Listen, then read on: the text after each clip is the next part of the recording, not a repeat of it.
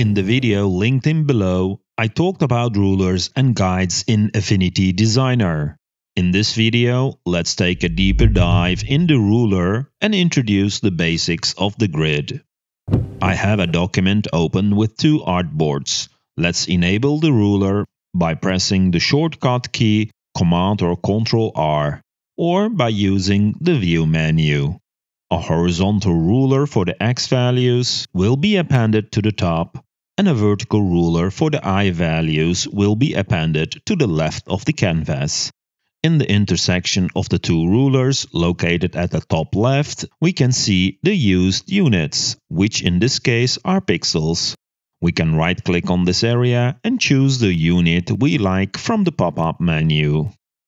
By the way, the calculations are based on your document setup, which were set when you created the document. You can of course change them using the document setup from the file menu.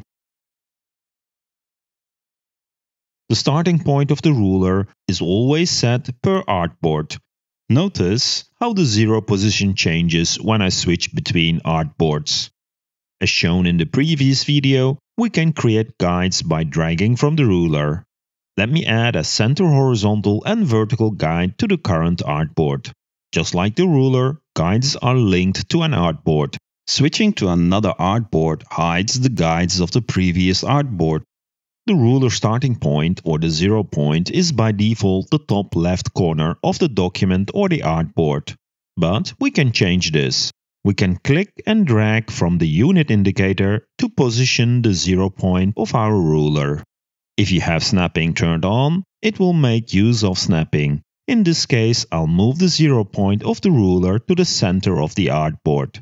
Keep in mind that this will affect the transform panel. When I add a rectangle at the center, you can see that the x and y values are 0. Because the ruler 0 points are stored per artboard, switching to the artboard on the right will restore the ruler 0 point of this artboard, which was the top left of the artboard. I can change the 0 point of the ruler for this artboard. When we switch back to the left artboard, notice the 0 point of this artboard has been restored. Interestingly enough, the positions of elements are universal. So for example, when we look at the properties of this rectangle in the transform panel, it has 0 for x and y for position. When I copy this to the other artboard, notice how the rectangle is pasted to the same position relative to the artboard, but the x and y values are different. Pretty cool. Let's remove the rectangles before moving on. If you want to reset the default zero point position, you can quickly do this by double clicking on the unit indicator on the ruler. Now let's talk about grids.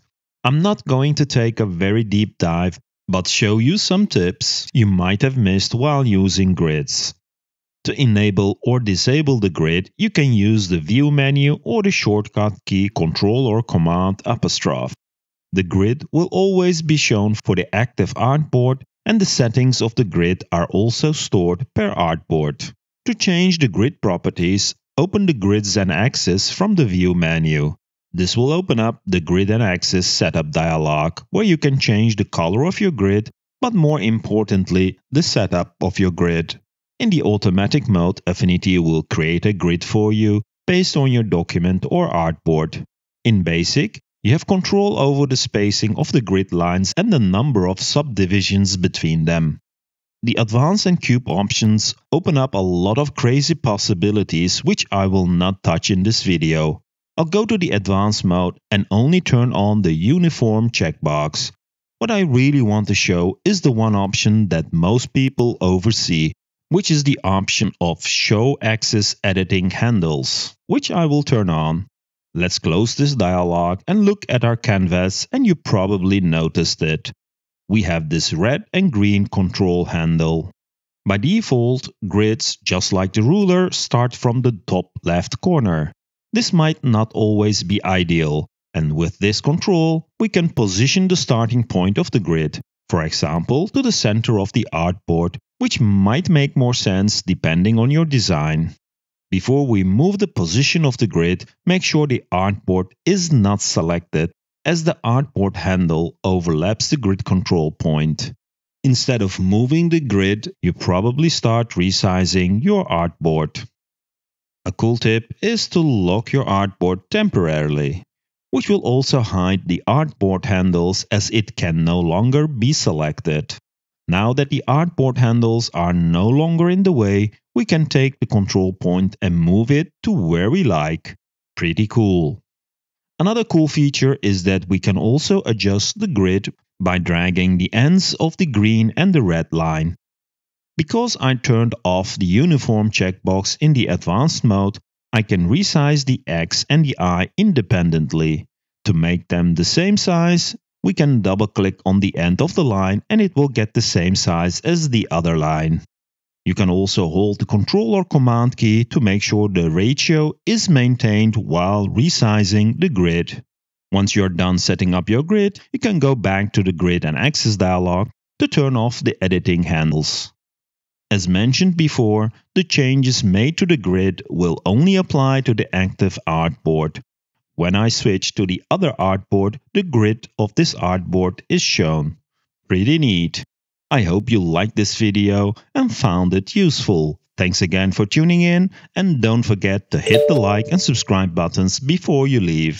Until the next video.